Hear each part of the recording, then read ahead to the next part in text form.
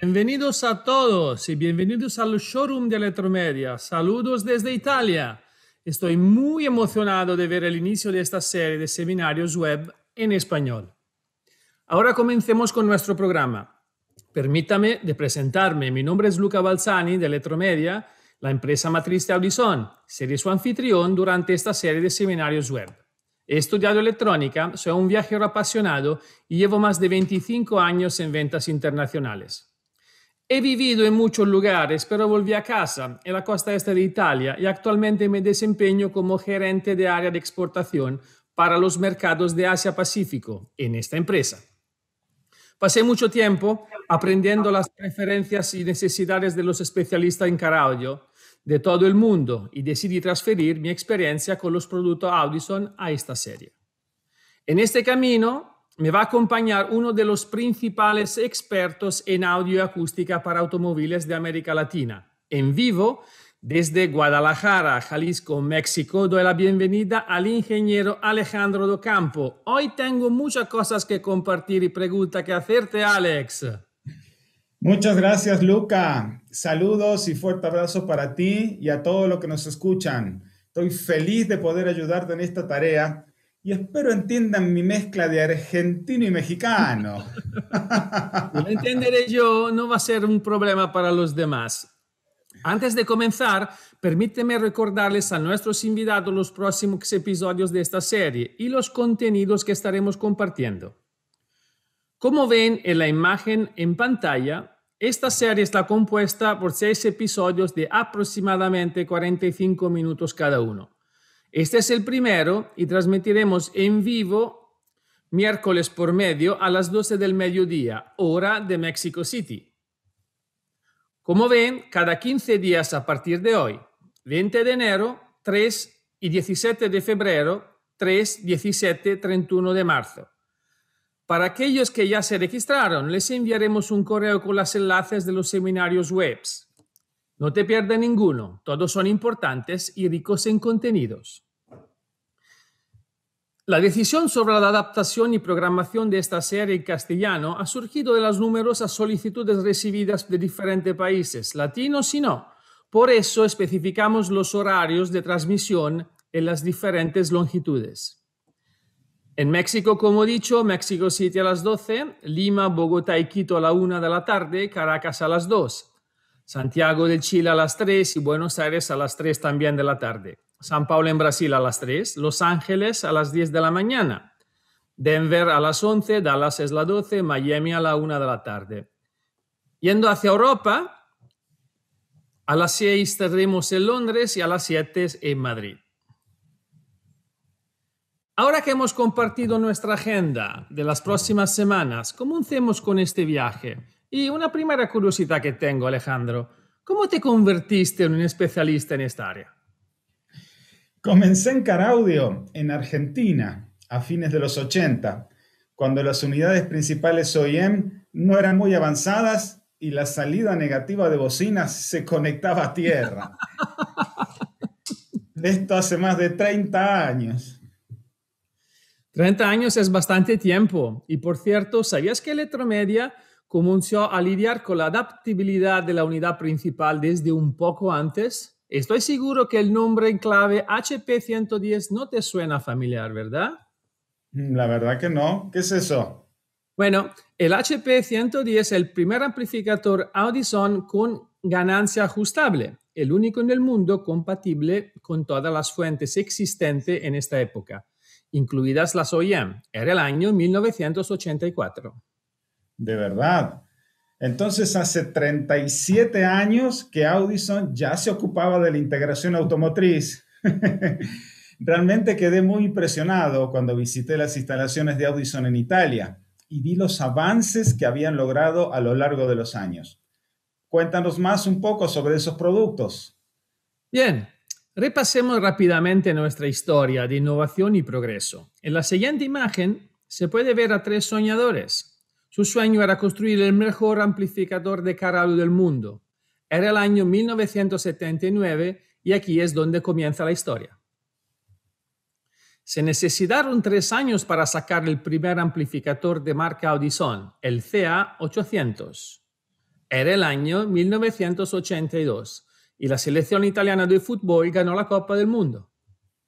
Sí, me acuerdo. ¿Del amplificador? No, de la Copa del Mundo. ¿Esta verdad? Bueno, yo prefiero la otra, la del 86. Qué tiempos y qué jugadores. Permítanos homenajear a dos grandes jugadores que han fallecido el año pasado, pero que nos siguen haciendo soñar. Paolo Rossi y Diego Armando Maradona, que descansen en paz. Ahora seguimos con nuestra historia. Como se mencionó antes, el año 1984 salió el primer amplificador con sensibilidad ajustable, que era compatible con todas las fuentes en el mercado en ese tiempo. Siguiendo con el progreso y la innovación, en 1992 salió el LR3081, el primer amplificador especializado en subwoofer. En el mismo año, 1992, el peldaño que cambió la historia del car audio, el HR100, definido por la prensa especializada como el amplificador, siendo la nueva referencia IEN para la electrónica móvil. Con un cuidado maniático por los detalles estéticos y de ingeniería, nuevos productos fueron lanzados en los mercados internacionales. El HV16 ha sido el primer bestseller en el mercado. Fue el año 1994.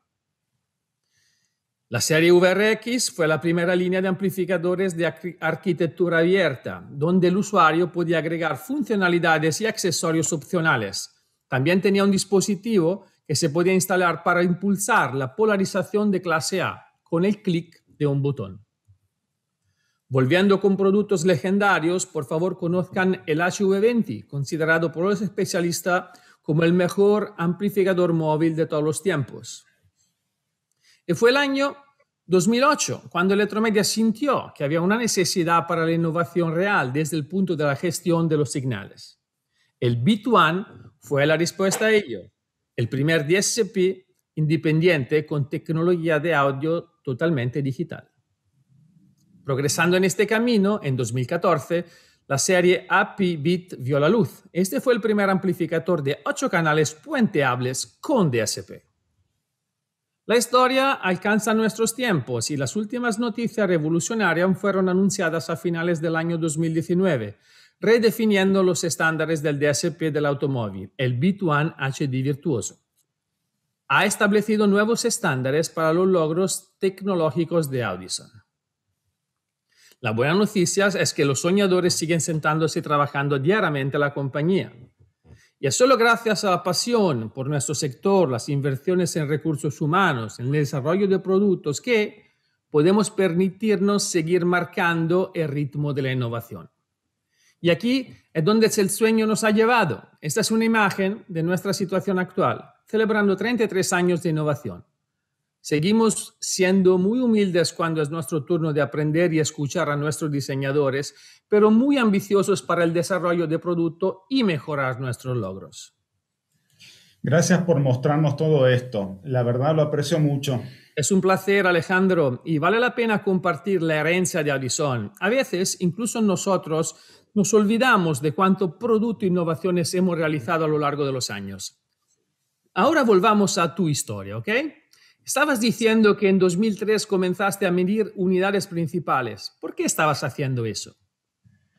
En verdad, todo comenzó unos años antes. Todavía estaba yo en la Argentina y el dueño de la empresa donde trabajaba compró una camioneta nueva, cero kilómetro, y quería conservar su estéreo original de cassette porque tenía sus músicas favoritas grabadas en ese formato. ¿Y puedo preguntarte qué coche era ese? Sí, era una Honda Odyssey 98. Y como la empresa vendía amplificadores y bocinas, pues había que ponerle sonido al carro del patrón.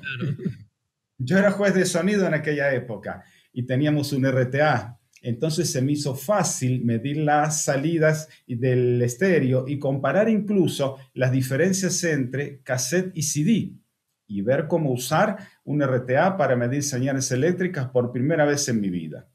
Por suerte esa señal de audio era muy simple, pero en los años siguientes, a medida que seguía midiendo sistemas OEM, las señales se volvían cada vez más complejas. Los sistemas han cambiado mucho desde aquellos años a la actualidad. Nosotros trabajábamos de manera muy autodidacta, pero hoy en día tienen mucho más equipo, capacitación e información disponible que en aquellos años. La instalación de un buen sistema de sonido en los automóviles modernos a menudo parece imposible para el propietario del vehículo y muy difícil para el instalador de sonido automotriz. En la década de los 80 esto no sucedía. ¿Qué ha cambiado realmente? muchas cosas han cambiado. Para empezar, yo era más delgado y tenía más pelo en la cabeza. Ya. Pero además de eso, en los 80 o 90, al igual que ahora, a nadie le gustaba el sonido de agencia, si es que el auto venía con estéreo. Pero era mucho más fácil colocar un estéreo, porque en cuestiones de formas y tamaño había compatibilidad para el reemplazo. En la siguiente imagen se puede ver el interior de un Jetta, que traía estéreo de tamaño de un DIN, que es el mismo tamaño que hasta hoy tienen las unidades aftermarket, y además su salida de audio era de rango completo. Entonces, en el siglo pasado, colocar un mejor receptor en el tablero, reemplazar bocinas, incluso agregar un amplificador, no era tan difícil. En aquel tiempo no. Mm. Pero ahora los autos vienen con radios de diferente tamaño, traen amplificador externo, y aunque presuman sistemas de sonido premium, realmente no suenan muy bien. No, no, no lo hacen, por suerte. Por suerte para nosotros no, pero para mejorar eso, los especialistas deben enfrentar el desafío de que la electrónica y el diseño del automóvil han cambiado mucho. Como puedes ver en la siguiente imagen, en los autos modernos la unidad principal a menudo se distribuye por todo el tablero. La pantalla está por un lado, los botones en el volante, el sintonizador por otro lado. Ya no está todo en un solo módulo y por eso es mucho más difícil de reemplazar. Además, ahora se realizan funciones que no son del audio dentro del receptor. Tienes llamadas telefónicas, navegación GPS, campanas de alerta, cámara de reversa, llamadas al centro de servicio telemático y ni hablar, CarPlay, Android Auto y un largo etcétera. Entonces, es por todo eso que el usuario ya no quiere cambiar el receptor, porque tiene todo lo que necesita en cuestiones de conectividad, pero sí quiere un mejor sonido. Pero ya no está tan fácil. Hay obstáculos para conseguir un mejor sonido. Se puede preguntar cuáles son los obstáculos más comunes para mejorar el sonido, pero manteniendo la unidad principal OEM. Sí, mira, son varios.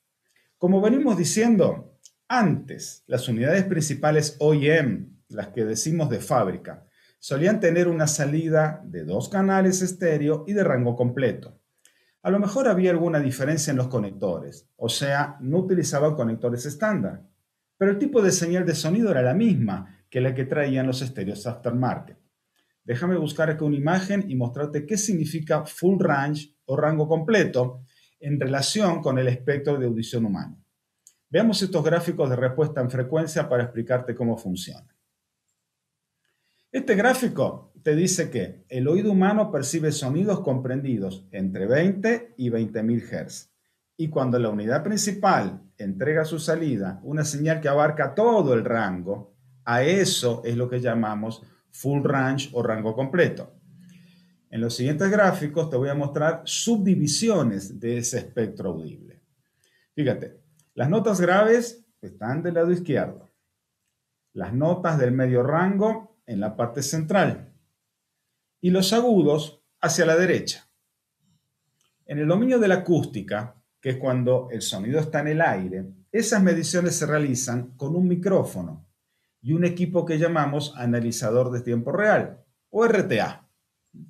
Ahora bien, los micrófonos detectan las variaciones de presión sonora en el aire pero nosotros queremos medir y detectar cómo es la señal dentro de los cables, exactamente a la salida de la unidad principal. Entonces vamos a cambiarnos de dominio. Ahora vamos a pasarnos al dominio del audio. Aquí la señal es eléctrica. Tenemos voltaje a la salida del estéreo.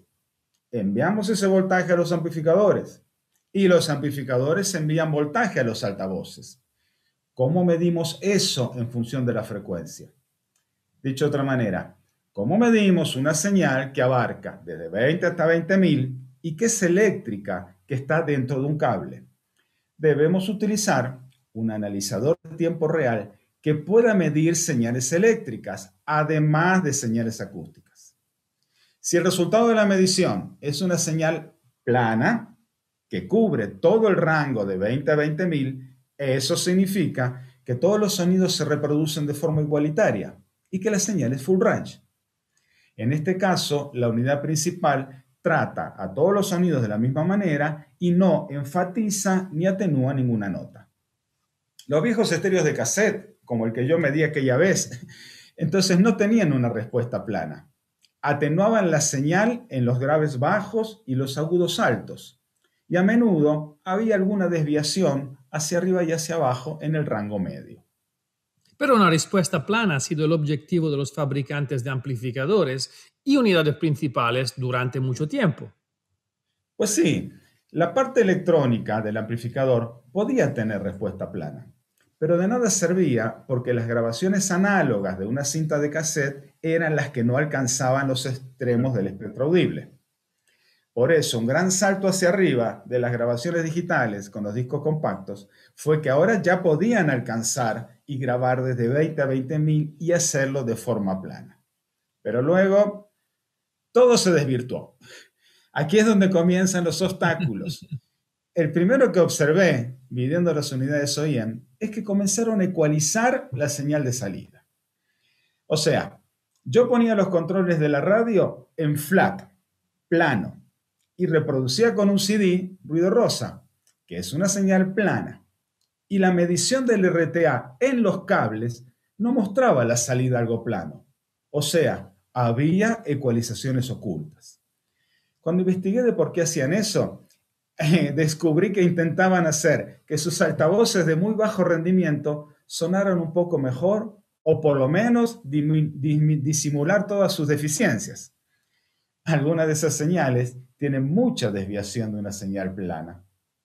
Sí, claro, y me gustaría resaltar el hecho de que los componentes de infoentretenimiento OEM, como unidades principales, altavoces, amplificadores OEM, son el resultado de muchos compromisos hechos de los fabricantes de automóviles. Presupuesto reducido, restricciones para combinar con el diseño interior, la ubicación de los altavoces, reducción de peso para cumplir con el consumo de combustible y varios más.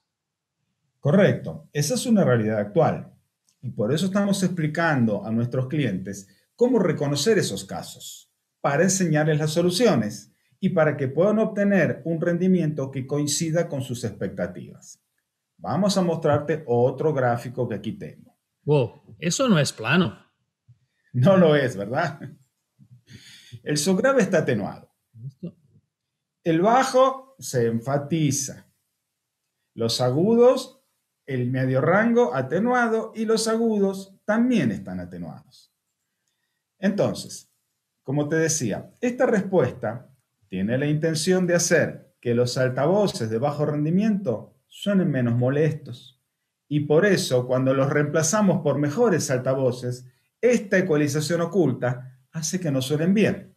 Ah, sí. Por ejemplo, en el pasado escuché de algunos especialistas en audio, para automóviles por supuesto, que instalaron excelentes parlantes y sabían que eran parlantes con un gran sonido, pero no sonaron bien en ese caso.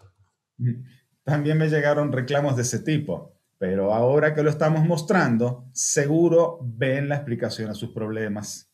¿Sabes que los procesadores Audison Beats abordan esos problemas? Sí, porque pueden corregir automáticamente la señal que estamos usando. Si el sistema OEM no reproduce bajas frecuencias y las filtra para evitar la distorsión en sus bocinas de bajo rendimiento, entonces agregar un subwoofer no reproducirá subgraves, porque esas frecuencias están ausentes desde la salida de la unidad principal. Otro ejemplo, si el carro no trae tweeters y entonces la señal está aumentada intencionalmente en alta frecuencia para compensar la falta de ese tipo de bocina. Ahora, el especialista instala tweeters, ¿qué va a pasar? Van a sonar exagerados. Eso parece un grave problema. ¿Estás diciendo que aquí como está la señal, si nuestros clientes agregan un subwoofer, no conseguirían mejorar la cantidad de graves? Es correcto. y que eso se llama ecualización oculta. Correcto. Ese es un escenario que no le gustaría enfrentar a ningún instalador, pero se me ocurre una solución. Audison tiene disponible para todos los procesadores bit una función llamada de ecualización. Así de sencillo. Ponemos el CD Audison con ruido rosa, activamos la función de decualización, dejamos que el procesador de forma automática se ocupe de eso. Correcto. Con eso conseguimos una señal plana a la entrada del procesador, que además lo hace de forma automática, ahorrando tiempo y facilitando el trabajo del instalador. En conclusión, el primer obstáculo que te menciono, ecualización oculta, resuelto con la de-ecualización de Audison. Y ahora el instalador podrá agregar un subwoofer y colocar mejores bocinas, porque ya tiene una señal plana de rango completo en la entrada del procesador, lista para ser dirigida a los nuevos componentes. Muy bien, continuemos. Un segundo obstáculo que a veces veo en las unidades de fábrica es una ecualización dinámica. Antes oculta, ahora dinámica. ¿Qué quiere decir eso? Significa que la ecualización cambia con la posición de la perilla de volumen. Esto es algo un poquito más elaborado. Lo hacen de fábrica nuevamente porque sus altavoces no responden de igual manera a bajo que a alto volumen. Aquí te muestro otro ejemplo. Observa esta gráfica de un Volkswagen. Puedes ver que a volumen bajo, con menos de 9 clics, los graves están realzados. Exactamente con 9 clics, la salida se vuelve plana. Pero de 9 clics para arriba y hasta 40, los graves se desvanecen. Esa caída es casi por completo donde trabaja el subwoofer. A medida que se sube el volumen, los graves se vuelven más débiles. Entonces aquí hago un llamado de atención. Cuidado, alerta. Si calibramos el procesador a cierto nivel del estéreo de fábrica pero luego le movemos al volumen de la radio y la ecualización dinámica hace de las suyas, pues todo el ajuste fue inútil. Eso parece otro gran obstáculo. Estás diciendo que la unidad principal tiene integrado un ecualizador que cambia al subir el volumen. Sí, correcto. Y por eso se le llama ecualizador dinámico. Así es. Uf, otro escenario tampoco le gustaría enfrentar a un buen instalador. Pero como antes, creo que tengo una solución. Audison tiene disponible para todos los bits un control de volumen maestro que llamamos DRC. Se me ocurre que puedes dejar el volumen OEM fijo en una posición. Luego utilizar la decualización que vimos antes para corregir la señal y dejarla plana. Y por último, usar el DRC como control maestro para obtener un sonido excelente en cualquier nivel de volumen. Cham, cham. Bravísimo. Me gustó tu propuesta. En conclusión, otra vez, este segundo obstáculo, la ecualización dinámica, resuelto con el uso del DRC de los procesadores Audison. Déjame proseguir. Otro problema bastante común con los sistemas OEM es que comenzaron a utilizar múltiples vías de amplificación con cortes de frecuencia activo para cada salida. Esos sistemas se denominan multivías o frecuenciados aquí en México. Déjame mostrarte un ejemplo de un sistema OEM multivía con una salida pasa bajo y otra pasa altos filtradas activamente desde el amplificador de agencia. ¿Agregaría esto más complicaciones? Pues un poco más. Mm. Si a las ya mencionadas resulta que ahora estos sistemas no tienen ninguna salida del amplificador de agencia con rango completo, entonces debemos resolver cómo sumarlas para obtener algo full range dentro del procesador. Básicamente estás diciendo que los cables que se dirigen a los Twitter solo llevan alta frecuencia. Correcto. ¿Y los que se dirigen a las bocinas solo llevan frecuencias medias y bajas? Así es. Y esto se llama amplificación multivía. Correcto. Mira, si te gusta esta solución. Con los procesadores bit de Audison puedes activar la función de sumar entradas y obtener la información de rango completo necesaria antes de comenzar con el ajuste. Buenísimo. Hoy tenés una solución para cada problema. Me gustó. Este tercer obstáculo, autos con amplificación multivía, resuelto configurando la opción sumar en la entrada de los procesadores Audison.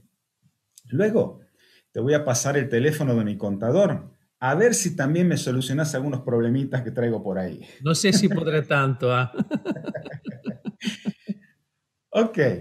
Otro detalle importante a tener en cuenta es que aunque el sistema de fábrica sea estéreo, no se escucha en estéreo. Ah, caray, diría el mexicano. ¿Cómo es eso? Déjame explicarte qué significa estéreo y agregar aquí un poquito de historia. Estéreo es la forma simplificada de referirse al concepto sonido estereofónico, palabra que como todo viene del griego, estéreo, sólido y fon, sonido, y debe entenderse como el uso de dos canales de audio independientes para conseguir una sensación lo más cercana a la escucha natural. Para ubicarnos en tiempo y espacio, estamos hablando de diciembre de 1931, cuando Alan Dower Blumlein patentó en Inglaterra la grabación estéreo. Desde entonces, las grabaciones estéreo se realizan en dos canales. Se reproducen con dos bocinas, derecha e izquierda, y cuando la información de ambas bocinas llega a nuestros oídos con igual amplitud, tiempo y fase, entonces aparece la magia del estéreo, el canal central fantasma. Nuestro cerebro interpreta que hay un sonido en el centro de ambas bocinas sin la necesidad de la presencia de un altavoz en esa posición. Este sistema es bueno y muy bueno desde 1931 y se sigue utilizando en home audio hasta la actualidad, pero tiene una debilidad. Para crear la ilusión de un escenario acústico, necesitamos tener dos altavoces idénticos, orientados hacia la posición de escucha y debemos sentarnos en el centro, idealmente formando un triángulo equilátero respecto de las bocinas. Y cuando nos ubicamos de esa manera, aparece lo que llamamos el centro fantasma entre los altavoces. Ahora, el problema de los automóviles es que no traen un asiento al centro. Nos sentamos hacia los costados. Y cuando eso sucede, pues el escenario se revuelve. ¿Mm? No importa lo bueno que sea nuestro equipo, esta posición de escucha causa nuevos problemas que los vamos a ubicar en una categoría, pero de problemas acústicos, que también debemos resolver y que se suman a los tres primeros que ya te mencioné, pero que eran de orden eléctrico, ecualización oculta, ecualización dinámica y amplificación multivía. Muy bien. Entonces, voy a comenzar con ellos. Problema número cuatro diferencia de intensidad entre derecha e izquierda. O sea, escuchamos más fuerte un canal porque sencillamente estamos más cerca de un altavoz que del otro. Tengo una pregunta aquí. ¿Podremos quizás arreglar eso con un bit, los ajustes independientes de nivel en cada canal? No puedo decir que no. Correcto. El problema número cuatro fácilmente se resuelve con un bit de Audison, utilizando los ajustes de nivel independientes para cada uno de los canales. Continúo. Problema número 5. Otro inconveniente causado por no estar sentado en el medio del auto es que, mismo que las bocinas derecha e izquierda sean iguales, sonarán distintos desde el asiento del chofer. O sea, tendrán una diferente respuesta en frecuencia porque los altavoces del lado izquierdo están en un ángulo diferente para el oyente que los altavoces del lado derecho. Y por eso se escuchan diferente en algunas frecuencias. Si un altavoz desde el asiento del chofer tiene una respuesta que suena como esta curva aquí de color verde, y el otro altavoz tiene una respuesta que suena como esta curva aquí, pero de color rojo, podemos ver que no coinciden exactamente en todas las frecuencias. ¿Y cuál es el problema? Analicemos una situación hipotética. Digamos que hay un instrumento grabado de tal manera que debe sonar al centro del escenario. Cuando ese instrumento toca las notas del rango medio, estas van a sonar más fuerte de un lado que del otro. Y entonces el instrumento parece desplazado hacia el lado de la bocina que suena más fuerte. Ahora bien, cuando ese mismo instrumento ahora toca notas más agudas y es el otro canal el que suena más fuerte en esas frecuencias, entonces, ¿qué va a pasar? La imagen central se mueve hacia el otro lado y el instrumento parece correrse dentro del escenario. Y eso no debería hacerlo. Alto ahí. Y te lo digo en italiano. Penso di avere una soluzione. Entonces, corregimos esto con los procesadores bit de Audison porque pueden ecualizar la salida izquierda y derecha de manera diferente, para que la respuesta coincide en el punto de escucha, ¿correcto? Exactamente así. Este problema 5, diferente respuesta en frecuencia, también resuelto con un Audison bit, porque pueden ecualizar distinto el canal izquierdo del canal derecho. Ahora bien, todos los procesadores bit ecualizan automáticamente la señal eléctrica OIM a su entrada con la función de ecualización. Pero también optimizan la señal acústica del nuevo sistema ecualizando la salida de forma diferente entre canal izquierdo y derecho. O sea, tienen ecualizador de entrada para señal eléctrica y ecualizador de salida para señal acústica. No muchos procesadores tienen esta capacidad. También ayuda mucho a minimizar este problema utilizar mejores altavoces, especialmente conjuntos de componentes de tres vías. Sí, claro. Y Audison tiene conjuntos de componentes de tres vías en cada línea de altavoces. Ese es el kit APK 163 de la línea prima. Muy bien, muchas gracias por mostrarlo. Continúo con los problemas. Otro problema que voy a nombrar como número 6, y es una consecuencia de sentarse hacia un lado, son las cancelaciones de fase. Por no estar los dos altavoces a la misma distancia de la posición de escucha, incluso una pequeña distancia de recorrido, alrededor de medio metro, causa problemas, ya que la señal de ambas bocinas llega a diferente tiempo. Esas diferencias de tiempo provocan cancelaciones de fase, que en ingeniería las llamamos filtro peine, y afectan principalmente a cualquier sonido que en el CD estuviera grabado en el centro del escenario. Otra imagen que te voy a mostrar. Se muestra el gráfico de las cancelaciones de un automóvil de tamaño promedio. Eso luce horrible. ¿Verdad que sí? Cada una de esas caídas se produce cada vez que dos altavoces están a diferente distancia del que escucha. Entonces, algunas frecuencias llegan desfasadas 180 grados a la posición del oyente. La mayoría de los especialistas en car audio han conectado dos subwoofers en polaridad opuesta al menos una vez y notaron que no hay graves. Ese es un ejemplo de cancelación de 180 grados, ¿verdad? Correcto. Es un ejemplo muy particular. Aunque la polaridad y la fase son cosas diferentes, sirve para entender que, por más que intenten arreglar el problema con el ecualizador, no podrán, porque cuanto más impulso agreguen, más luchan ambos lados entre sí y la cancelación persiste. Este problema es problema de fase. No se puede arreglar el filtro peine con el ecualizador. Entonces ese problema se soluciona con los procesadores bit ajustando el retardo alineación de tiempo a la ubicación del asiento del chofer. Y así podemos volver a poner los altavoces en fade en toda la frecuencia, ¿cierto?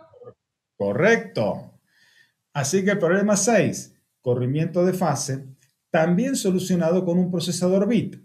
Ahora bien, hay que ser claros en este punto y entender que el retardo se ajusta a una posición específica, la del chofer en este caso, simulando que está sentado en el medio del auto y para él aparecerá el centro fantasma, porque así funciona el sistema estéreo. solo con dos bocinas y es efectivo en una posición de escucha. Los otros asientos no tendrán la misma suerte. Ahora bien, en los sistemas actuales hay algunos más elaborados que utilizan un tipo de procesamiento digital adentro de la radio. Entonces, modifican la información estéreo de dos canales para obtener mayor cantidad de canales de audio, con el objetivo de tener un sonido más o menos parejo en ambos asientos, en lugar de tener uno que suena muy bien, pero solo en un asiento, aunque no tan bien en el otro.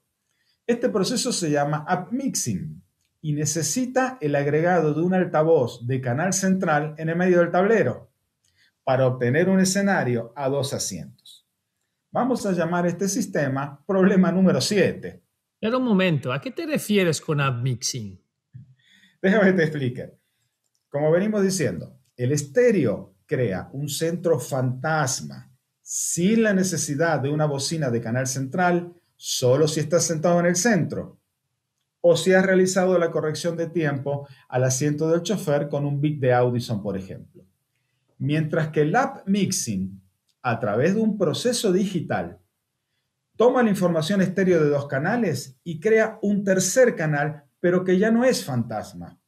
Entonces necesita el agregado de una bocina en el centro del tablero para obtener la sensación de centralidad desde ambos asientos. Esto ahora se utiliza en muchos autos para conseguir un sistema estéreo en dos asientos que suenen similares. Entonces, presta atención a un pequeño detalle. Si vamos a integrar un procesador a una radio OEM que trae sistema upmixing, como trabaja con más cantidad de canales, necesitas un procesador que a su entrada admita al menos canal derecho, canal izquierdo y canal central. Y Audison siempre tuvo esta capacidad desde el primer bit one. Antes el admixing se podía desactivar. Se apagaba en el menú de la radio el Logic 7 o Center Point o algo parecido, así se llamaban. Entonces, la información del centro regresaba a los canales derecho e izquierdo. Entonces ahora tomabas esas señales para la entrada del procesador e integrabas tu sistema estéreo de dos canales y lo ajustabas normalmente. Pero últimamente he visto radios OEM con sistema upmixing que no tienen menú de desactivación. Y en estos autos, si no conectas el canal central en la entrada del procesador, se pierden todos los sonidos de la grabación que deberían estar en el centro del escenario. Y normalmente es el cantante. Eso no es bueno. Por eso debemos conservar, en ese caso, el upmixing. Pero además esos sistemas suelen tener mucho más de tres canales, ¿verdad? Sí, esa es una de las razones por las cuales el virtuoso de Audison trae 12 canales de entrada y trae una función especial que se llama modo de paso. Aparece como pass-through. Este modo permite conservar cualquier característica que esté usando el sistema OEM sin forzarlo a sumar los canales cuando esa no es la mejor opción. Por ejemplo, nunca deberíamos sumar los altavoces traseros con las bocinas traseras de surround. Estas necesitan permanecer separadas. Te hice como ejemplo aquí una configuración de entrada de un virtuoso que está en modo de paso. Fíjate, tenemos un canal central pasivo de dos vías, un set frontal activo, un set trasero también en pasivo de dos vías, más dos bocinas de surround traseras más un subwoofer. Todo eso está conectado a la entrada, por separado y en modo pass-through. Y gracias a esta configuración de entrada, podemos mejorar mucho un sistema upmixing, agregando mejores amplificadores a la salida, reemplazando también por mejores bocinas y realizando los ajustes adecuados para obtener ahora entonces un escenario amplio de buena calidad tota-, tonal y con una imagen central aceptable para ambos asientos delanteros. Y no es común encontrar procesadores que puedan manejar un doble juego de bocinas traseras. Comprendido y perfectísimo. Entonces, el problema 7 de integración a sistemas OEM con App Mixing, que no se puede desactivar, se soluciona con un virtuoso de Audison. Ahora bien, ¿existen otras razones para utilizar el modo de paso o solo era para el App Mixing? Bueno, hay otro caso, que vamos a enumerarlo como problema 8. Son los sistemas OEM que para obtener un escenario estéreo a dos asientos utilizan All Pass Filters. Algunas personas lo llaman Phase EQ, o sea, ecualizador de fase. ¿Y qué es lo que están haciendo aquí? Están intentando cambiar la fase de la señal, pero en frecuencias muy concretas, para eliminar las cancelaciones de esas frecuencias desde ambos asientos delanteros y conseguir un escenario estéreo a dos asientos. Pero a diferencia del app mixing, en este caso, sin la utilización de una bocina de canal central. No es perfecto, pero es simétrico. Tal vez alguien aquí no sepa, incluyéndome a mí, sobre el concepto de All Pass Filter. ¿Puedes intentar explicarlo? Sí, claro. Los filtros pasa altos y pasa bajos trabajan atenuando la amplitud de la señal a partir de la frecuencia de corte. En cambio, un all pass filter deja pasar a todas las frecuencias con igual ganancia, pero cambia la fase de la señal en el punto donde está aplicado. Por ejemplo, un all pass filter de segundo orden invierte 180 grados, como si volteara los cables de los altavoces, pero con una gran diferencia. Solo lo hace en un rango definido de frecuencias, porque además puede ajustarse el ancho de banda del filtro. Por ese motivo se los llama ecualizadores de fase, porque la fase solo se modifica en la frecuencia donde se aplica el filtro y no en las otras. Ahora bien, para saber si el sistema OEM utiliza All Pass Filter y como es difícil medir la fase directamente, lo que se hace es intentar ver los efectos que la fase provoca en cuestiones de cancelaciones. Y otra vez voy a mostrarte un ejemplo. Mira, aquí tienes un diagrama de fase en donde el sistema OEM utiliza en el canal 1 la misma fase para todas las frecuencias, pero en el canal 2 tiene aplicado un All Pass Filter que invierte 180 grados a la fase en 200 Hz. ¿Te acuerdas del gráfico del filtro Peine?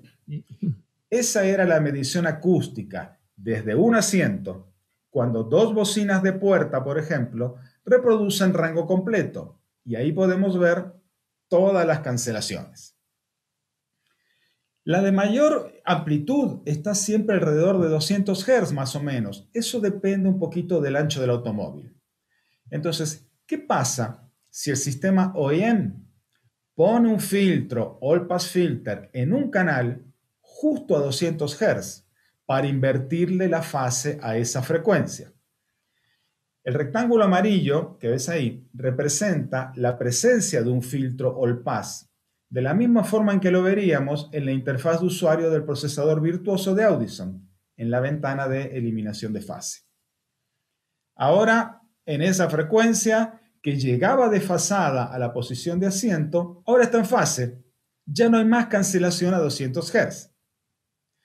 Una aplicación OEM de este proceso se encuentra en la Toyota Tacoma, por ejemplo, donde el medio bajo tiene aplicado un All Pass Filter en 200 Hz para que se escuche al centro del tablero desde cualquier asiento. Y estoy seguro que quienes nos escuchan ahorita van a empezar a encontrar más vehículos con All Pass Filter, ahora que explicamos cómo funciona pero vamos a dar más detalles de cómo hacerlo en el episodio número 2.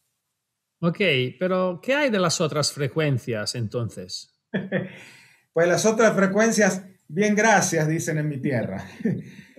El sistema OEM debería aplicarle All Pass Filter también a las otras frecuencias del filtro peine. Sin embargo, es justo decir que incluso la ecualización de fase a dos asientos más compleja no tiene la misma precisión que un ajuste estéreo a un asiento con retardo de tiempo. Pero una vez que la señal eléctrica del sistema OEM manipula la fase, entonces ya no hay un valor adecuado de retardo de tiempo que pueda alinear a los dos altavoces. Entonces eso parece otro gran obstáculo. ¿Estás diciendo que la radio OEM aplica All Pass Filter a algunas frecuencias? Tal cual. ¿Y que solo esas frecuencias se escucharán al centro del auto? Así es un ulterior escenario que no le gustaría enfrentar a ningún instalador. Pero, otra vez, se me ocurre una solución. El virtuoso de Audison tiene deface automático. Puede corregir el all pass filter en la entrada para permitirnos usar el delay a la salida y hacer un buen escenario a un solo asiento, pero para todas las frecuencias. En un episodio futuro tú y yo mostraremos a los espectadores cómo hacerlo, ¿verdad? Así es. Ya lo explicaremos con detalle más adelante. Pero digamos por ahora que este problema número 8 se soluciona y de forma automática con el uso del virtuoso. Aunque también el virtuoso puede dejar la señal sin corregir utilizando el modo que te mencionaba, modo de paso. ¿Por qué utilizarías el modo de paso si puedes corregir la fase? Bueno, el modo de paso permite conservar el procesamiento OIM a dos asientos. Y si no es tan bueno como un ajuste a un solo asiento con corrección de tiempo, pues a algunos clientes les gusta. Y todavía podemos usar a la salida del virtuoso mejores amplificadores, incluso aquellos con entrada digital, mejores altavoces que los de fábrica y usar el ecualizador del, virtuoso para obtener un sonido mucho mejor. Eso es mucho procesamiento. ¿No hay forma de eliminarlo todo? Sí, a veces lo hay. Y Audison tiene por ahí un dispositivo capaz de solucionar este problema número 7, perdón, número 9. 9, 9 ya. Exceso de procesamiento. Algunas veces en el sistema OEM hay una señal de pre-análoga que no trae proceso, o alguna forma de desactivar algunos procesos con una herramienta de programación. Pero también existen interfaces específicas para vehículos que eliminan todo el procesamiento OEM y retienen los controles del volante. Quizás como nuestro BitDemi. Apareció una solución. Ya está. El bit DMI de Audison se conecta a la fibra óptica del automóvil antes del amplificador de fábrica y proporciona una señal de audio digital SPDIF estéreo sin proceso. Y la primera generación de bit DMI funciona con muchos vehículos europeos con redes MOST 25. Decimos con carro hasta el año 2017-18. La próxima generación de BDMI emitirá las nuevas redes MOST 150, que está instalada la actual y es mucho más complicada y llena de datos que procesar. Estamos trabajando en una nueva interfaz en cooperación con la empresa iDataLink. Sí, he usado los bits DMI en BMW, por ejemplo, y la calidad de sonido es excelente. Estoy esperando probar la versión MOST 150. Y seguro, Alex, como sabes, vienen cosas buenas para lo que esperan y tú serás uno de los primeros en probarlo. Es una promesa. Por el momento, ¿qué me puedes decir sobre iDataLink Maestro y Audison? Fíjate, iDataLink tiene una interfaz que se llama Maestro AR, que elimina todo el procesamiento de muchos sistemas de audio, en por ejemplo Chrysler, Ford, Chevrolet, Toyota, Volkswagen y muchos otros más. Estos sistemas que ya no usan MOST 25. Audison es plug and play con Maestro AR en los amplificadores prima en el procesador bit 9. Sí, la interfaz Maestro AR de iDataLink usa el procesador de Audison como preamplificador y los comandos de volumen y fader se pueden controlar en el bit desde la unidad principal. Y esto es genial de acuerdo, completamente. Ahora, ¿te surgen otros problemas en la integración de OEM que puedas mencionar? Bueno, lamentablemente no podemos conectarnos simplemente a los cables y esperar que todo funcione. Un obstáculo que ya voy por el número 10, que ha sido detectado por muchos instaladores, son los coches que silencian la salida después de que se desconectan los altavoces de fábrica. Preguntas sobre este problema son comunes y marcas Fiat, Chrysler, Volkswagen y cada vez más. Además, en algunos automóviles nuevos, desconectar un altavoz puede activar un código de diagnóstico o incluso una llamada del proveedor de servicios telemáticos. ¿En serio? ¿Y por qué harían eso? Porque el servicio de telemática utiliza las bocinas para asistir al conductor en caso de emergencia. O sea, es una comunicación con el coche en caso de accidente para preguntar si se necesita ayuda. Si el sistema de sonido no funciona y no hay audio de llamada de manos libres, podría quedarse atrapado en el auto sin escuchar al operador que le habla. Y para evitar estos problemas, la radio de fábrica tiene que ver una carga que simule al altavoz original. Ok, ok. Eso significa que es muy importante trabajar correctamente todo el tiempo. Pero creo que tengo la solución para ese obstáculo también. Y eso suena como nuestra tecnología Universal Speaker Simulator o USS. Correcto. Nuevamente una solución. El obstáculo número 10 deja de ser un problema con el uso del USS, porque emula los altavoces faltantes para que el sistema de fábrica no acuse una falla ni se dé cuenta que estamos cambiando nada. Estoy realmente sorprendido con el desarrollo de Audison y que ha hecho con este simulador de impedancia. Tanto así que recomiendo a todo instalador tenerlo en stock para resolver este problema de manera adecuada en los casos que cada vez son más frecuentes. Sí, el simulador de impedancia ya habían integrado en muchos productos de Audison, como por ejemplo el APF 8.9 bit, el bit 9, el bit 1 HD virtuoso, en toda la línea de amplificadores SR. Tenemos también los convertidores de línea alta-baja SLI 2.2 y 4.2 de la marca Connection que ya lo tienen a bordo. Por último, pero no menos importante, el adaptador de carga independiente USS4 para aquellos productos e instalaciones fuera de esta lista. Ah, antes que se me olvide, el Bit 10 ya lo tiene incluido a partir de ese año. Creemos que hemos abordado este problema de manera más completa de cualquier otra empresa, por lo que los especialistas de caraudio que trabajen con nuestro producto pueden avanzar y no preocuparse por ello. Da mucha seguridad ver que un fabricante se toma en serio buscar soluciones para estos obstáculos. Y siguiendo con los obstáculos, otro problema que voy a enumerar como 11 es el ANC. ¿ANC? La cancelación de ruido avanzada.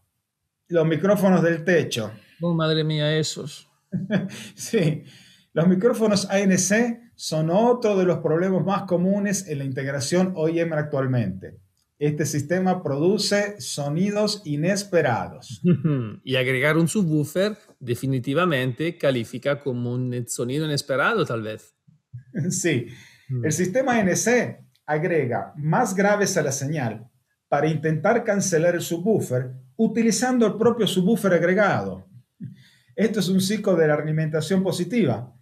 Cuanto más fuerte se vuelve, más señal se le agrega. Eso suena como un terrible problema. ¿Cuál es la solución? Mira, la solución a este problema número 11 la tiene Audison en oh. aquellos vehículos que son compatibles con el BitMI. O la tiene iDatalink, utilizando la interfaz Maestro AR. Aquí en México, uno de los más vendidos es para la RAM. Pero cuando este producto no está disponible se necesita desconectar los micrófonos o desconectar directamente el cerebro que controla el sistema ANC. Y esta es una de las razones por las que recomiendo que los especialistas deben suscribirse a algún servicio proveedor de diagramas automotrices, como por ejemplo All Data o alguno similar. Ahí van a encontrar los diagramas del cableado y el color de los, de los colores de los cables del micrófono o directamente la ubicación del cerebro de la ANC. Ok, muy bien. Y parece que hay muchas cosas a tener en cuenta. Sí, y nos vamos a adentrar en todos estos procesos en los próximos episodios. Ahora, para ser prácticos, ¿cuáles son algunas de las herramientas que recomiendas que tengan a mano los especialistas en esteros de automóviles? Bueno, te voy a mostrar. Como básico, deberían de tener un multímetro y que funcione, ¿verdad? es importante también que tengan un medidor de polaridad. Deben checar la polaridad de los altavoces antes y después de, de terminar la instalación. Hoy en día también es fundamental disponer de un osciloscopio. Fíjate lo que tengo acá. Oye, en la versión compacta, ¿eh? El, el manual. Los especialistas utilizan el multímetro que te mostré recién para medir el voltaje de corriente continua y las resistencias de corriente continua. Pero con un osciloscopio lo que pueden hacer es medir el voltaje de corriente alterna y ver cuando se comienza a recortar la señal. Por eso es que son realmente útiles para el trabajo de audio. Necesitan tener un RTA que pueda medir señales acústicas y también señales eléctricas. Un RTA es un instrumento que permite medir ahora la corriente alterna de múltiples frecuencias al mismo tiempo y mostrarlas en un gráfico. Cuando usamos un RTA con un micrófono, lo que hacemos es medir las señales acústicas que se encuentran en el aire. Ahora, cuando usamos un RTA con sondas de prueba, lo que vamos a hacer es medir la salida de la unidad principal. Podemos medir los cables con el voltaje de corriente alterna eléctrico de muchas frecuencias al mismo tiempo. Y entonces vamos a descubrir si, por ejemplo, tenían las ecualizaciones ocultas o ecualizaciones dinámicas y todo lo que habíamos mencionado. También es esencial que tengan una selección de tonos de prueba. Pues Antes nosotros utilizábamos muchos tonos de prueba grabados en un CD, pero ahora van a necesitar tener memorias USB e incluso muchas aplicaciones para teléfono celular donde tengan tonos de prueba.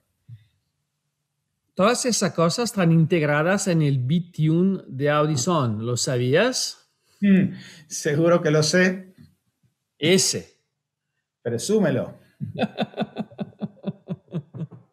Para fomentar el uso de este fantástico dispositivo, Audison ha abierto las funciones de medición a todos los propietarios de BitTune sin la necesidad de comprar una licencia por más tiempo.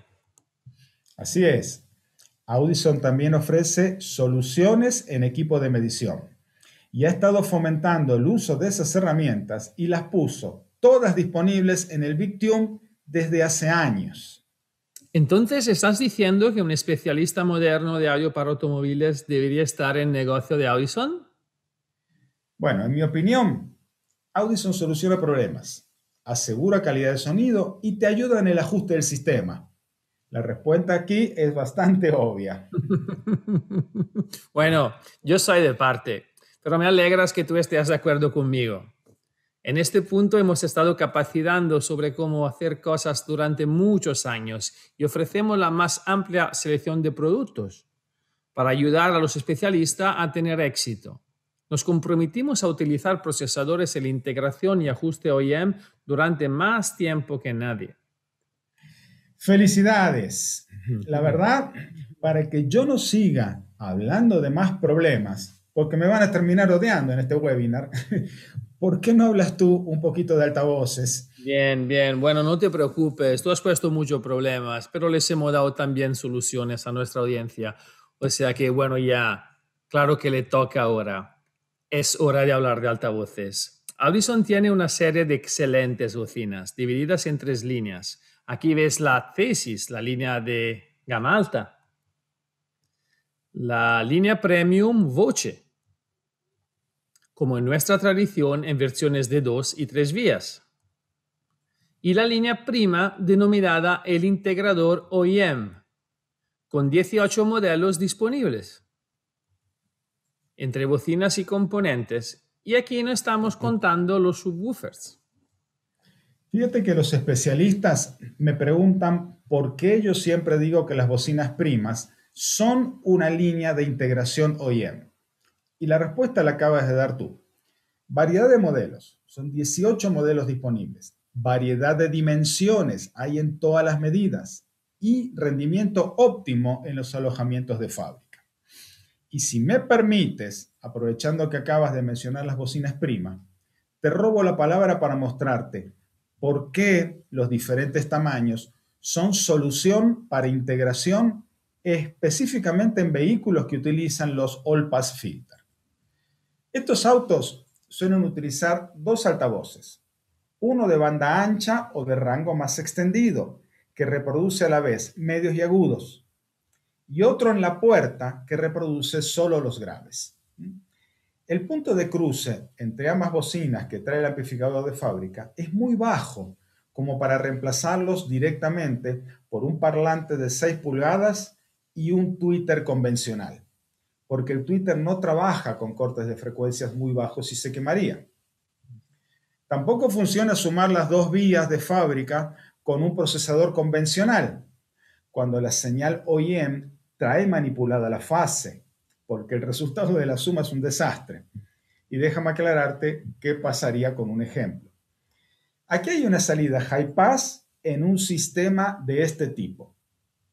Puedes ver que en la respuesta en frecuencia abarca media y también alta frecuencia. Y aquí la salida low pass para la bocina de la puerta. ¿sí? Estas dos curvas cuando tú las mides por separado con un RTA para señales eléctricas, parecería que pueden sumarse bien. Pero cuando las sumo, la línea azul muestra lo que obtenemos. Mm, uf, qué mal. Estas cancelaciones aparecen porque ambas vías no están en fase entre sí entre todas las frecuencias. Y vamos a explicar más sobre estos vehículos con detalle en el próximo episodio. Entonces el reemplazo directo por bocinas convencionales no funciona porque cameramos los Twitter. Correcto. Y sumar las señales con un procesador que no compense el phase de fábrica tampoco funciona porque tendríamos cancelaciones de fase. Efectivamente. Entonces ahora te robo yo la palabra. Se me ocurre que hay algo que podemos hacer con las bocinas prima. Podemos reemplazar el buffer OEM con un buffer prima de 8, buffer prima de 6x9, un buffer 6.5. Aquí estamos usando un buffer de 6x9. Y el altavoz de banda ancha OEM lo reemplazamos sin problema con un prima P2. Y a ese punto quería yo llegar. Otro problema solucionado con Audison. O sea, gracias a la variedad de tamaños en la serie prima, podemos reemplazar los altavoces sin peligro de quemar y sin necesidad de sumar. Muchos fabricantes de automóviles están utilizando ahora una bocina de banda ancha de 2 pulgadas, pero no se puede hacer un reemplazo si los únicos tamaños de altavoces que ofrece su proveedor son un mid-woofer de 165 milímetros y un tweeter de 1 pulgada. Los altavoces prima también están diseñados para una alta eficiencia.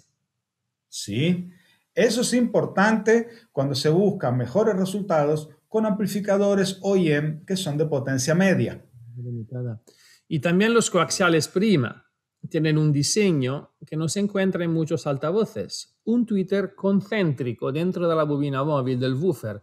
También hay una guía de ondas alrededor del perímetro de la cúpula del tweeter para actuar como deflector. Esto reduce la interferencia entre el tweeter y el woofer mejora la dispersión y la respuesta fuera del eje. Y también lo ayuda a encajar detrás de algunas rejillas OEM. Y esto no es secundario. ¿eh? bueno, ¿es suficiente sobre los altavoces por el momento? Sí, pero estoy seguro que hablaremos de ello luego también en los siguientes episodios. En el siguiente y más. Ahora, terminando con la solución de integración OEM. Tú mencionaste antes que los interfaces y los accesorios son importantes. Sí, la integración OEM tiene muchas variables. A veces necesitamos un control de volumen maestro, otras un módulo de carga para los altavoces. Otras, un convertidor de línea de alto voltaje. Y muchas veces una interfaz externa para sacar el audio de una red digital y hacerlo utilizable para nosotros. Y Audison tiene algunos accesorios de este tipo realmente valiosos. Ya hemos hablado sobre el BitDMI, nuestra interfaz más importante, y la tecnología USS, y cómo puede resolver problemas comunes durante la instalación Car Audio. Pero volviendo a nuestro DRCMP, además de permitirnos superar los efectos de la ecualización dinámica en el sonido, también es una pieza de diseño. En la siguiente diapositiva puede verlo bien que encaja en el tablero gracias a los LEDs RGB, que pueden ajustarse para que coincida con el color de iluminación de los instrumentos. Mientras el DRCAB es un controlador de bajo costo, que usa botones para subir y bajar el volumen. Y de nuevo, instalado en su entorno de uso. Hablando del C2O, un dispositivo innovador que permite conectar su reproductor de audio digital coaxial o analógico de alta resolución a la entrada Toslink de un procesador bit. Da mayor flexibilidad a la conectividad de su sistema, dándote la posibilidad de aprovechar la calidad y el contenido de tus dispositivos móviles y de alta resolución. El convertidor de frecuencia de muestreo SFC puede transformar diferentes señales ópticas o coaxiales en 44.1K, en caso que el procesador bit no sea compatible con la resolución nativa. Fácil de instalar y conectar, como puede ver en el siguiente diagrama. Son convertidores de salida de la línea ultra de alta fidelidad, los SLI 2.2 y 4.2 simuladores de impedancia integrado y pueden manejar señales hasta 35 voltios. Esos son posiblemente los mejores convertidores de salida de línea pasiva que he visto. Me alegro que te gusten. Ahora, cuando tienes más canales de lo que soporta el procesador de la entrada, el mezclador pasivo estéreo SPM4 puede sumar cuatro canales en dos, por lo que no tienes que cambiar a un procesador bit más grande. Aquí un ejemplo diagrama de conexión. Entonces, en conclusión, Audison ayuda a los especialistas a obtener excelentes resultados al deshacer el procesamiento OEM y luego proporcionas las herramientas para obtener un excelente sonido en los automóviles. Parte de la magia aquí de los procesadores BIT es que tienen herramientas para deshacer el procesamiento OEM y otras para mejorar el sonido de nuestros sistemas de sonido aftermarket. Casi hemos terminado, queridos invitados. Esperamos que hayan disfrutado este primer episodio. Hemos cubierto mucha información y sabemos que muchos de ustedes deben tener preguntas. Hágalo aquí, en vivo, activando la función de preguntas y respuestas como se muestra en la imagen siguiente. Vamos a ver. Y no estáis tímidos, ¿eh?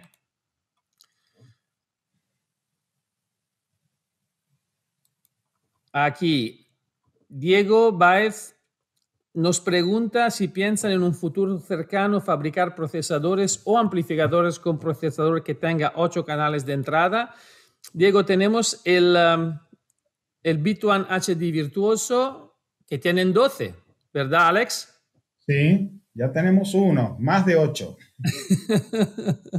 Jimmy, los bits vienen con un CD para hacer el análisis del sistema y de EQ, que se puede usar en los casos cuando las unidades principales no vienen con el lector de CD, pero si vienen con USB a esta te la puedo eh, responder yo, Johnny. Eh, en nuestro sitio web ya están todos los tonos eh, en formato que se pueden cargar en cualquier soporte USB.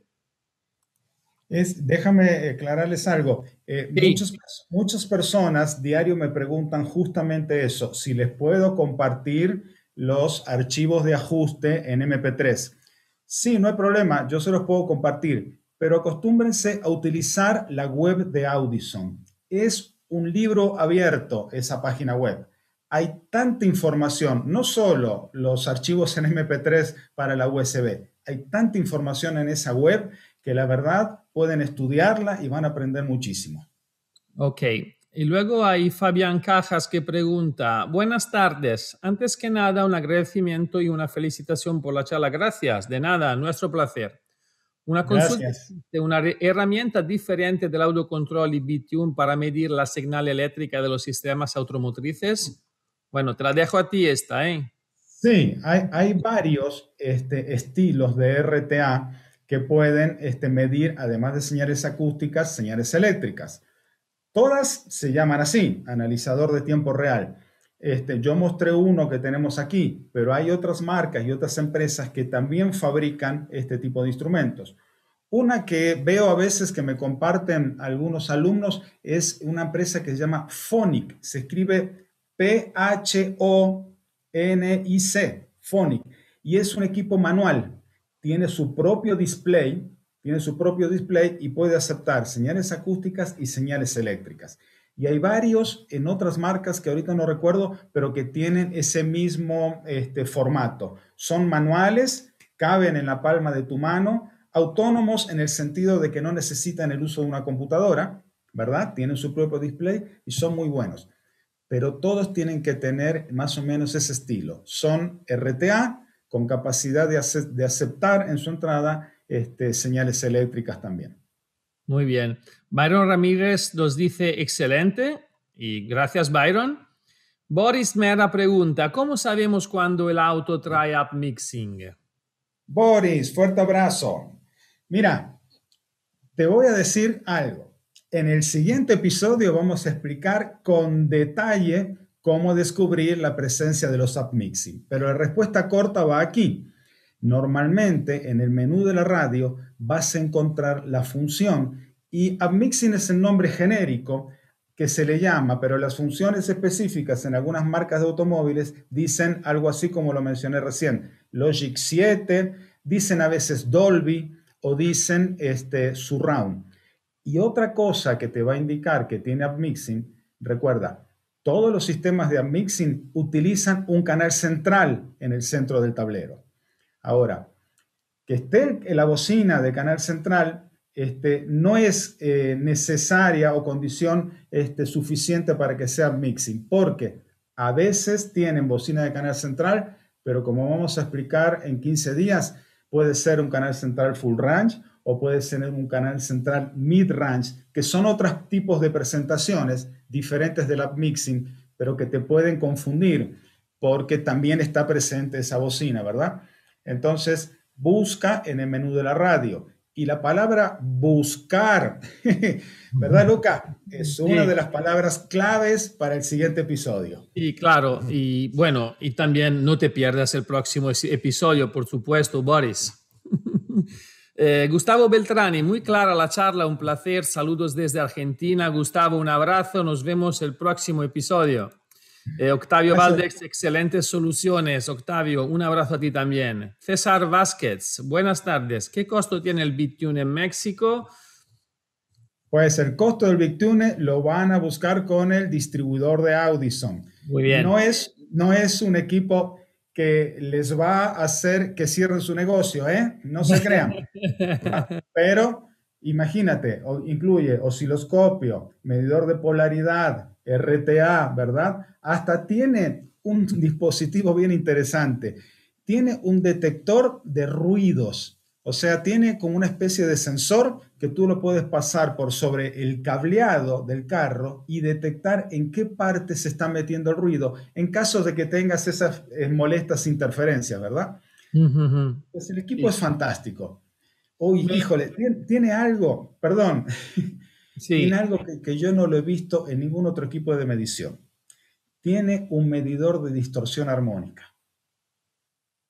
La famosa THD, en el BitTune aparece una pantalla y entonces te dice cuándo aparece la distorsión armónica y te muestra en porcentaje cuánta, qué cantidad de distorsión tiene. Es bárbaro. El equipo es bárbaro. ¿Qué, más te puedo decir? y mm, estaba respondiendo a, Werner eh, porque dice que tiene algún medidor audición para medir electrónicamente y bueno, eh, pienso que has dicho bastante sobre, sobre el BitTune y Juan Carlos Merida Llanos quiero usar un equipo con perfil SQ, Sound Quality. Mi duda es, ¿debo enfocarme a voce o comprime suficiente? Bueno, SQ, eh, hablando por lo que eh, yo entré, entiendo como SQ, sí debe de ser de voce para arriba, ¿sí? Prima, insisto, es un diseño muy bueno de Audison para reemplazo de bocinas OEM. Pero SQ, como, como debe de ser, debería ser de boche para arriba. Y mm, César Montes, César de Perú, tengo problemas con el Porsche Macan 2019, en la cual tiene conexión digital. ¿iDatalink tiene una solución? Eh, te recomiendo que busques en la página. Yo he visto que iDatalink este, tiene muchas marcas. Porsche me parece que no. Pero busca, ¿de, qué año dijiste que era? Porque 2019, hay... 2019. Busca eh, en la página de Audison, porque sí el BDMI este, queda para algunos Porsche. No recuerdo ahorita si exactamente para el 2019. Eh, ¿Hay data link? Creo que no. Creo que no, no, no está Porsche dentro del catálogo de ellos. Otra recomendación, la página de Maestro Link tiene un buscador fantástico. Tú pones marca del auto, año, este tipo de equipamiento que trae, porque dentro de los ports hay diferentes niveles de sonido. Y entonces ahí te dice todas las interfaces que son compatibles con ese carro y te aparecen diagramas de conexiones. Yo utilizo mucho esa página para aprender, porque realmente eh, muchas veces me llegan preguntas sobre carros que yo todavía no he visto nunca en mi vida porque no me ha tocado. Y entonces investigo otra vez, buscar investigo en esas páginas porque hay bastante información y te sorprende. Entonces, este, en el caso del Porsche, en iDatalink, no, no lo he visto. Ok. Um, Alberto Robles pregunta um, otra vez el costo del Bitune. Como he dicho, Alberto Robles, no sé si estás en México, de todas formas, contactar el distribuidor Addison de tu país.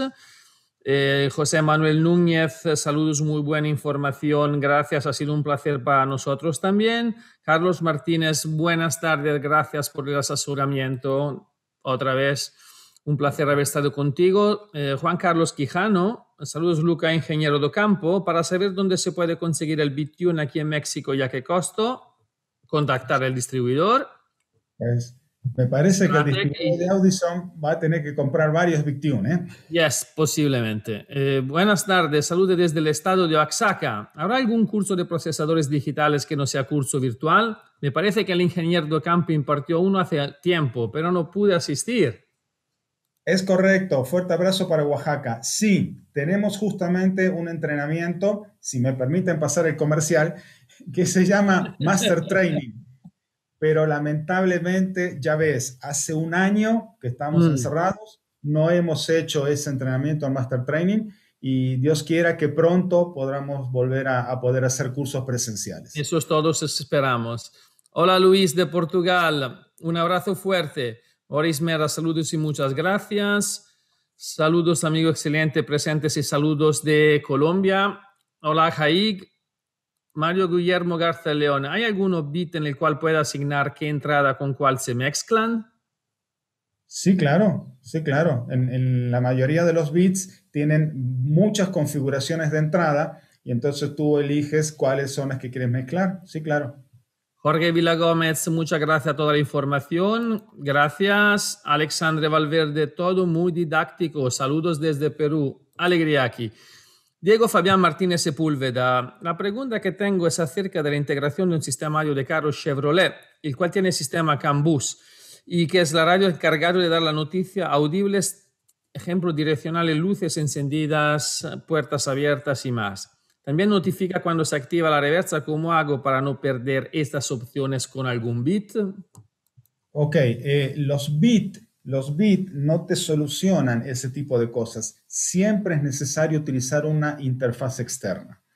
Este, cuando vienen los sistemas así que traen tanta, tanta electrónica en la unidad OEM, este, y para Chevrolet sí hay, como mencionábamos recién en iDatalink, busca en iDatalink exactamente el modelo de tu carro y vas a encontrar la presencia de esas interfaces. Y mencionamos ahí Datalink porque es una de las que este, trabaja de manera muy cercana con Audison. Pero hay muchas otras, ¿eh? Hay muchas otras. Miguel Tirado. Eh, la pregunta es, ¿puede eficaz intervenir para reemplazar solo algunos altavoces del sistema completo IEM? Para reemplazar solo algunos altavoces, línea prima. ¿Sí? Línea prima. Ahí tienes todos los modelos y todas las medidas. No tiene pierde. ¿eh? Em, em, Werner Fiban pregunta si tiene alguno para Guatemala. Eh, Werner, eh, vamos a proporcionar un, un, correo electrónico más tarde. Puedes utilizar esto para contactar con nosotros. Mm, Colombia muy complicado. Oh, buenas tardes, saludos desde Colombia. ¿Es muy complicado su manejo del Bitune? No, ¿verdad, Alex? Bueno, es como hasta todo. Yo, hasta yo lo puedo hacer, ¿no?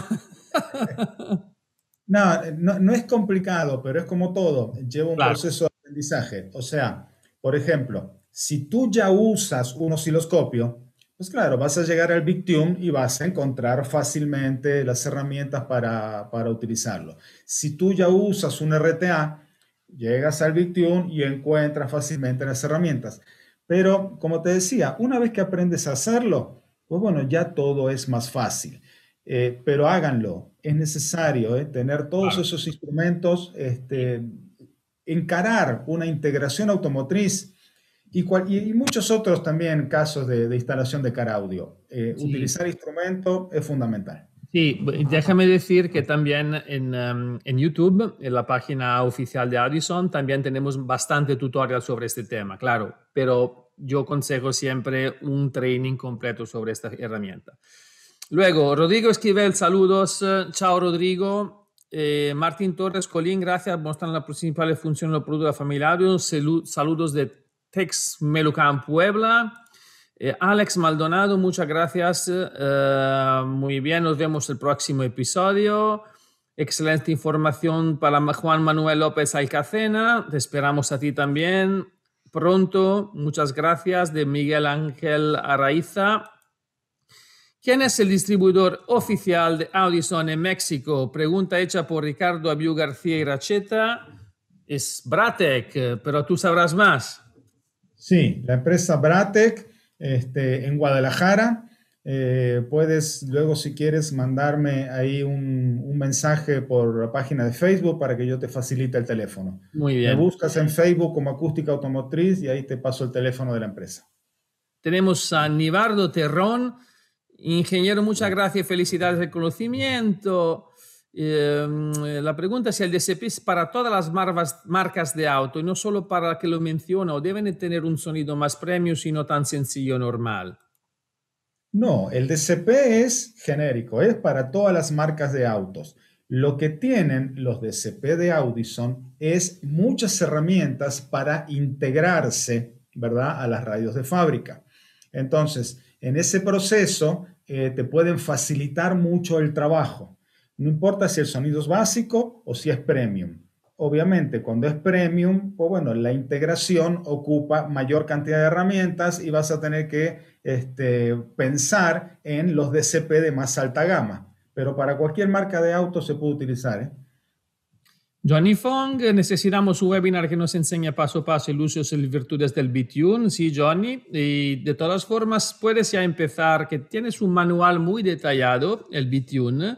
Y además, como he dicho antes, en nuestro canal de YouTube tenemos ya bastante tutoriales para poder empezar a tener confianza con este, con, este instrumento. Eh, Erwin Hernández, excelente información. Saludo desde el Perú. Muchas gracias. Excelente explicación, Andrés Orlando Vargas Blanco de Hermosillo, Sonora. Un saludo. Jai García, adicionando el autocontrol, yo tengo una tarjeta de sonido en audio con el software Smartwatch.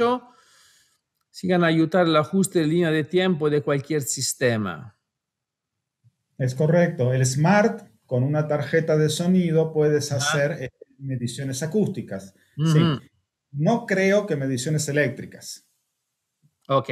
Saludos de San Leandro, te saludamos ti también, Galaxy Tab S2, pero eso sería el dispositivo móvil. Eh, John Delgado desde Bogotá, Colombia, muchas gracias por la charla, está muy interesante. Saludo John. Y Jordi Sánchez Morales, ¿qué tal? Buenas felicitaciones. Eh, me paso un Honda CRV 2020 que al ponerle un subwoofer me comenzó a dar la falla a los micrófonos. Mi pregunta, ¿existe alguna app donde me el, eh, el diagrama donde viene el módulo de los micros y la cablería? Como aplicación, no, no he visto, pero sí existen eh, la suscripción, como te mencionaba hace un rato, en estos servicios, empresas que se dedican a darte los servicios de los diagramas. Busca All Data. Es una suscripción que pagas. Este, no sé si funciona como una app como tal, pero sí en una computadora, en una PC, ahí tienes acceso a todos esos diagramas. Y Honda es uno de los que más frecuentemente utilizan los micrófonos del techo. Y eso. Y José Alberto Sánchez dice, mm, em, excelente, gracias. Me imaginé que lo vimos en la parte 1 y no imaginaba lo que se puede hacer con sus productos. Saludo desde Querétaro. Muchas gracias y placer. Excelente información, muy bueno soporte. Gracias a Luca Alessandro, Filiberto Serrano. Anderson Chamorro dice, ¿el USS 4 se puede utilizar con el DRC? Bueno, el USS 4 gestiona, eh, ¿no, Alex? La Mm, evita, decimos, la pagar de la, de la fuente en cuando haya fuente de este tipo, el DRC no tiene ningún conflicto con ello. Ningún conflicto, son dos equipos que pueden funcionar perfectamente. El DRC es un control volumen de maestro este, y el USS 4 es un simulador de impedancia. Sí, no hay ningún problema. Sí, los dos se pueden usar. Oscar Méndez, muy entendibles. Nos veremos el próximo capítulo. Eso espero yo. Saludos desde Ecuador y saludos desde Italia. Luis Cruz Alta, excelente programa. En USA, ¿dónde consigo el BTune? Saludos. Aquí también, Luis, tienes que contactar el, um, el distribuidor uh, Audison de de, Estados Unidos que se llama AMD. De todas formas, si te conectas al sitio audison.eu, puedes encontrar la parte donde te direccionas con todos los contactos al distribuidor de cada país. Eh, Moisés Valdés, buenas tardes, excelente charla, saludos desde Perú, bienvenido, te esperamos el próximo episodio. Víctor Oviedo también. Eh, buenas tardes, excelente charla, qué buenos son los equipos de medición SMD eh, ¿Sabes algo sobre los SMD? Em, sí, son, son instrumentos de medición que también que te ayudan a detectar el clipping de la señal, el recorte, y hay otro que te ayuda a detectar el, el punto exacto en el corte de frecuencia para ajustar los crossovers. Sí, sí, cualquier Jorge Jorge Villagómez pregunta, ¿cómo puedo tener acceso a los diagramas de cableado? Bueno, hemos sugerido el data ya, ¿ok? Buenas tardes, gracias por aportar su conocimiento. Jesús Ariel González, saludo Jesús. Eh, no es pregunta, Giovanni Rojas, un contenido muy completo. Saludos desde Sound Innovations, California. Qué gusto, chao. Chao. Andrés Palacios, hola, muy buenas soluciones. Saludos desde Colombia. Estaremos pendientes de los siguientes episodios. Eso esperamos nosotros, ¿eh? Muy buenos, saludos desde Argentina, Dani de la Pena. Dani, fuerte abrazo. Javier Oliva, saludos, muchas gracias por el seminario muy interesante. Rodrigo Esquivel también. Eh, Rodrigo, gracias también fuerte abrazo. nuestro amigo. Formación Tomás Flores, buenas tardes, felicidades. Saludos desde Venezuela. Un abrazo, Sono. Ricardo Watanabe, felicidades. Eh, ¿Algún pack Audison para nueva Toyota Hilux 2021? Saludos de Paraguay. ¿Qué dices aquí? Pues los packs de Audison este, tenemos para Tacoma, ¿sí? Mm, mm. Pero vamos a explicar en el episodio 3 que de todos modos, aunque no Audison no te venda un pack como tal exclusivo para ese vehículo, tú puedes crear tu propio kit. Seguro. Con, las herramientas de Audison. Eso va en el episodio 3. Ok, Z Blade, Jesús Castillo, felicidades, acabo de aprender muchísimo. Marcus Núñez de México, saludos. Em, está disponible el es gusto enorme ya está disponible el SLI 2.2 en México. Bueno, esto también preguntarlo al distribuidor. ¿Están estos vídeos en alguna página para ver? Eh, buena, buena pregunta, Alex. Alex Maldonado pregunta si estarán disponibles estos vídeos en alguna página para volver a verlos. Sí, publicamos, publicamos los vídeos cada primer miércoles, o sea, entre los dos episodios vamos a publicar el vídeo. de todas formas, em, después de una semana. En una semana va a estar publicado en, eh, en nuestra página web y también con los enlaces a YouTube. Saludos desde Colombia, Edgar Gómez. ¿Qué tan recomendable es colocar un procesador de audio para un equipo de OpenShow? donde se maneja una cantidad considerable de parlantes medios, tweets y bajos. Gracias mucho por la respuesta. Bueno, Edgar, te puedo decir que uno de los mayores expertos de utilizo con mm, DSP eh, en, eh, en, Colombia es Jorge Mario y pienso que sea una, una star del... del Open Show. Pues sí, la respuesta es sí que puedes utilizar con excelentes resultados. Eh, Oscar Quintero pregunta, hola, ¿qué componentes se ocupan para tener una buena claridad? Bueno, si me lo preguntas a mí, te digo, cómprate los tesis y ya verás qué bien, ¿no? Pero Alejandro, no sé si tú puedes darle una, una respuesta más diplomática. no, si, si, si, tu pregunta es en cuestión de componentes, pues sí, cómprate unos tesis, pero ten en cuenta que el, tesis funciona con un amplificador tesis y funciona con un procesador virtuoso. Entonces, tienes que hacer una cadena que todo tenga el mismo nivel, ¿verdad? Y bueno, sí, este esto es, este es un buen punto. O sea, eh, la tarea eh, de cada sistema es que tener un buen balanceado, ¿no? Como muchas cosas en la vida también, ¿no? Eso, eso es una cosa que hay que tener en cuenta, porque si no, sean unos desfases, luego eh, la cadena no, no va a respetar la calidad de cada otra pieza. ¿Quiere que te diga una frase matadora? Sí, dime, va. Un sistema de sonido nunca va a sonar mejor que el peor de sus componentes. Entonces, si no balanceas las cosas, entonces la calidad final de tu sistema, El nivel es de, peor. Muy bien. David Pinzón, excelente información. Saludos desde Bucaramanga, Colombia. Excelente información por Víctor Santos. Saludos de Cuyamabalpa, Ciudad de México. Juan Carlos Castellanos, muy buena información. Gracias y saludos de Puebla. Chao.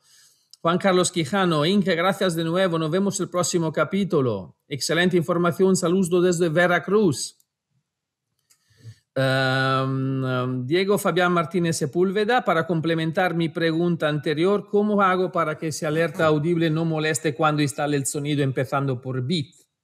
Pero ya le hemos dicho que no se puede hacer con esto si no se necesitas una interfaz a monte, ¿verdad? Es correcto. Las señales de alerta este, son atenuables desde las interfaces externas, no todavía con los procesadores bit. Oye, em, los, sentimos, pero tenemos que, tenemos que parar eso y ahora en pantalla vais a ver una, un correo electrónico, un correo electrónico en la próxima diapositiva que puede, donde podáis eh, eh, ponerse en contacto con nosotros en los próximos días. Pueden hacer sus preguntas por email utilizando la dirección de, correo aquí como ves en la pantalla. Antes de saludaros, déjenme compartir los contenidos del siguiente episodio. Mejoras al sistemas OEM. Vamos a hablar de integración. O sea, podemos hacerla más fácil. Un plan exitoso ¿Qué hace feliz el cliente? Y esto es una cuestión que vamos a analizar muy profundamente. Escuchando, escuchando cómo funciona el sistema OEM. Y esto va a ser muy interesante. Altavoces prima, porque facilita la integración, y Audison virtuoso, cómo simplifica la, la integración. Ahora, gracias por estar con nosotros hoy y gracias Alex por tu apoyo y nos vemos en dos semanas, ¿verdad? Claro que sí, Luca. Gracias a toda nuestra audiencia. Muchas y muy buenas preguntas. Este, nos vemos el 3 de febrero a la misma hora y por el mismo canal. Chao, chao, chao. Bye, bye.